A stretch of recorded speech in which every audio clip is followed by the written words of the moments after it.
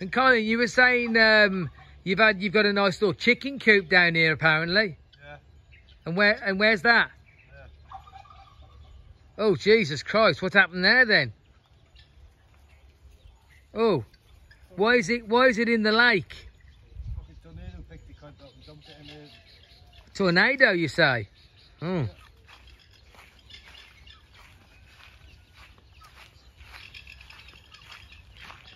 got to be about 20, 30 feet of roof in that pond.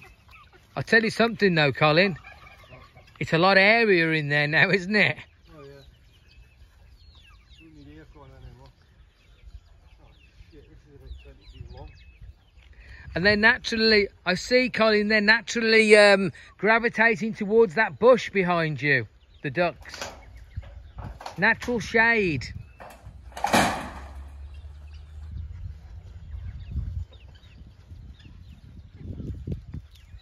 And you say that, and you say that's going to be a slide into the into the lake. You say This is for the ducks. the ducks to slide straight in, Yeah. quick.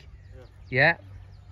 And you'll launch, you'll launch, launch your yacht down that, will you? Yeah.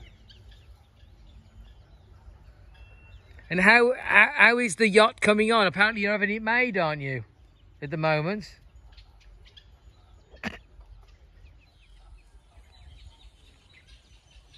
Oh, Oh, good news! Good news, Colin. Good news. You've still got two roofs. So you've only lost. Colin, you've only lost a third of your roofs. There's about 20, this is one piece about 20 feet long, sticking out down there. That must weigh half a ton. Half a ton, you say, Colin? Come off the other side of there, up in the air, and going what? 20 feet into there. Must have been the same time you were dancing in the rain outside the kitchen. Ah, great days. Great days, Colin.